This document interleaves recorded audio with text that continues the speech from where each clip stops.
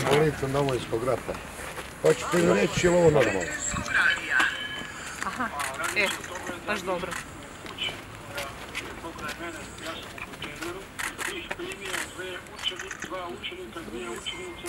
To, to se o vama radi. Znači šta, nije sad, nije fair da sad ovo ja slušam ovako. Pa trebate slušati. Mislim, nije fair prema onome kog bi ja Da sad li je trebao ovo- komentirati. Samo malo, samo malo. Da li je ovo fair i pošteno prema središnjem uredu koji radi maksimalno 24 sata dnevno? Mislite, Da li je fair da dolazite ovdje politički se prepucavati sa Plenkovićem i sa drugima? to, Radi zato ove Banovine koja je ovdje Banija, dala. Banija je bila Nije Banija, NDH, Banovina je ne, ovo nije točno. Banovina. Za vrijeme NDH je bila Banija i nakon rata je bila Banija, a onda se izmislili Banovina. Zbog čega političke govore držite? Zato sam čekao vas. Ima